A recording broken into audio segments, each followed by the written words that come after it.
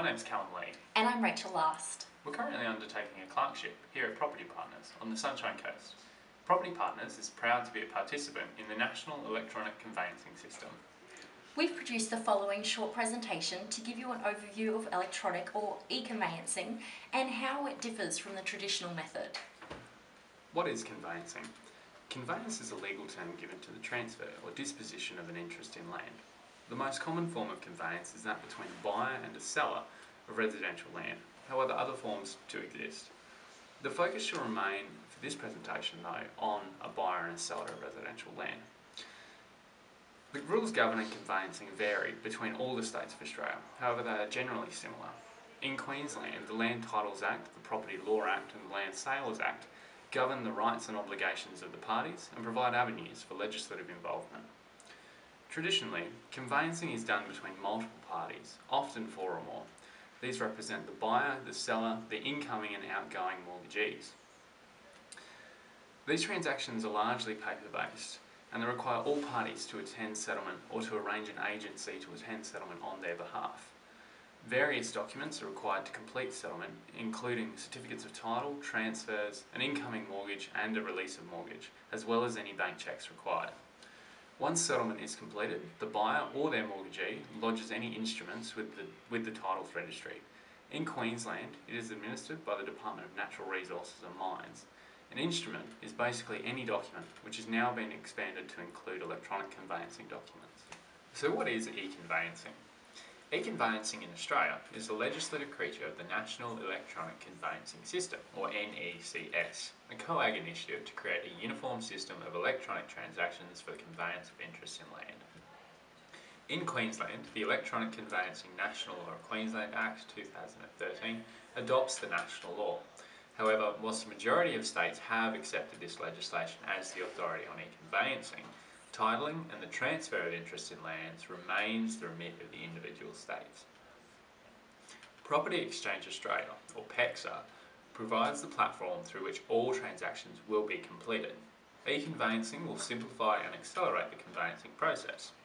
An electronic site will be created for each property transaction where users can share, sign and certify the documents needed.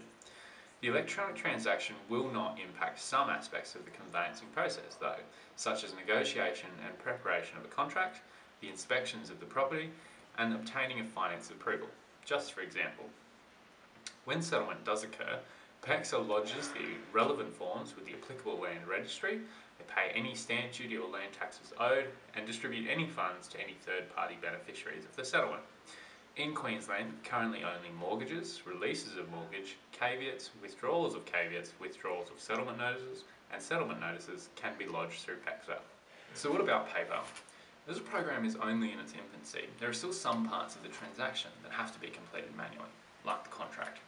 The platform requires that all parties complete the transaction electronically. So if one party does not use PEXA, the transaction has to be completed on paper.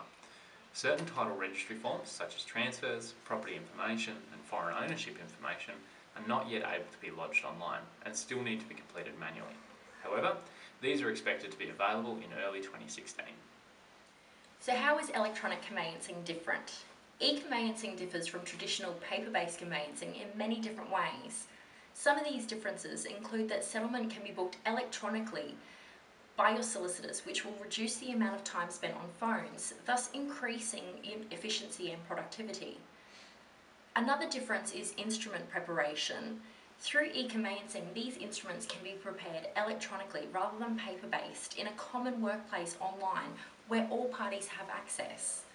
As all parties have access to the workplace and can verify documents that have been prepared, errors will be reduced and settlement preparations such as transfer documents, releases of mortgages, mortgages, settlement notices, as well as adjustments, calculations, check directions, they can all be checked.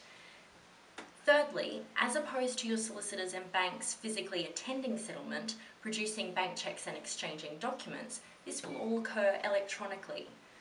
Finally, through the use of digital signatures, documents can be lodged in electronic form and processed by the Land Titles Office electronically, as opposed to physically going to the Land Titles Office to lodge the documents.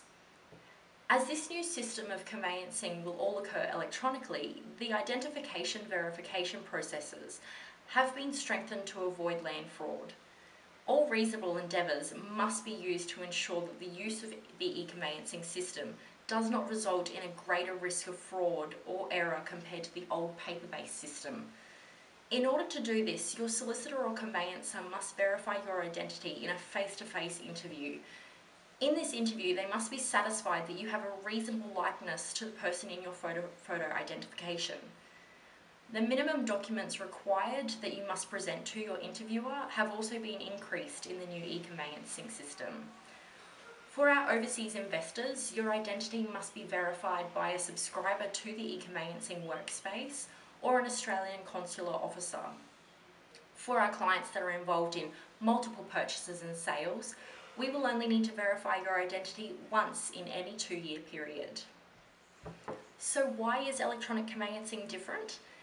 The need for the e-conveyancing system has been increasingly prominent in recent years in order to bring conveyancing into the 21st century. In a report prepared on behalf of PEXA by PricewaterhouseCoopers, survey results showed that 40% of people in Queensland found the settlement process to be stressful or extremely stressful.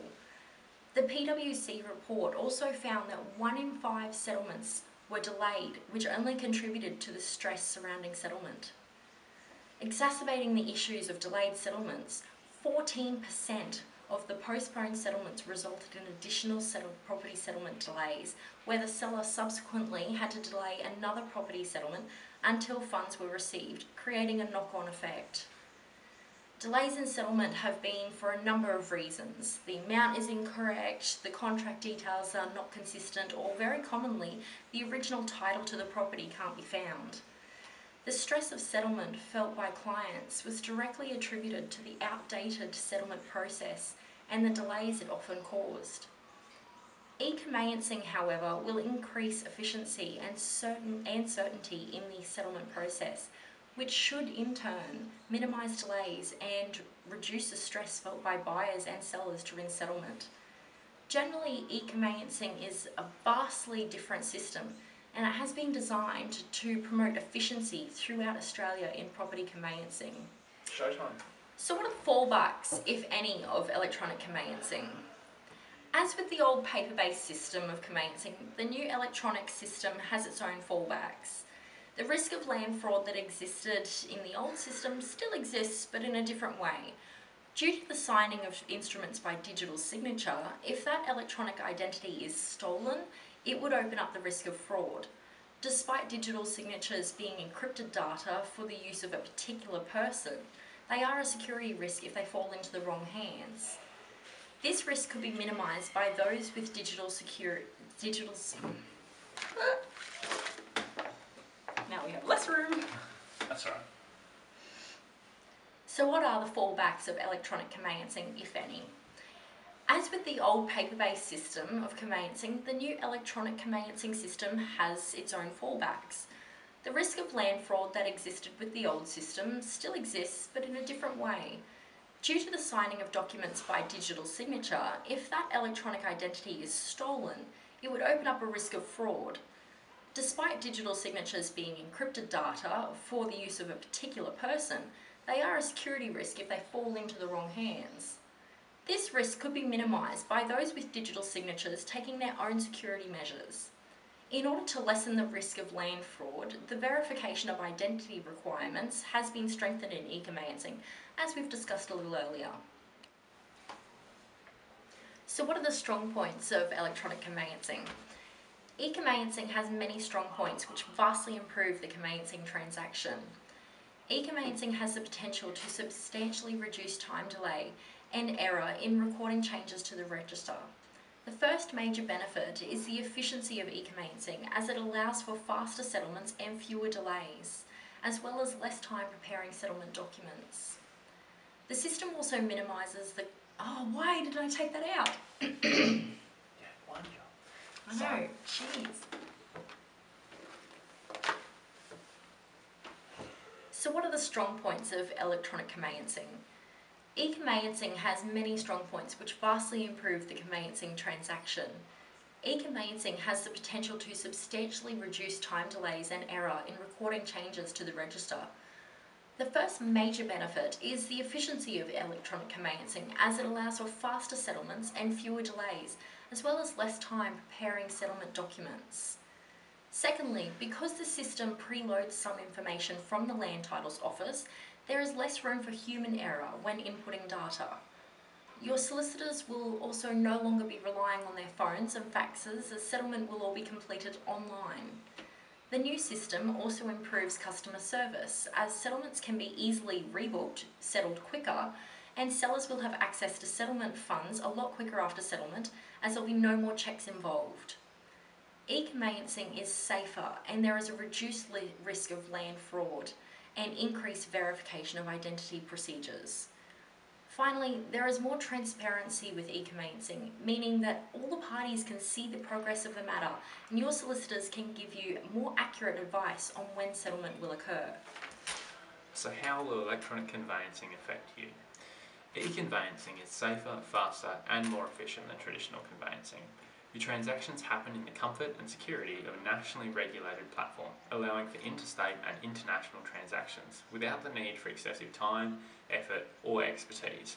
You will no longer need to sign all documents in person, meaning less time in our office and more time property hunting.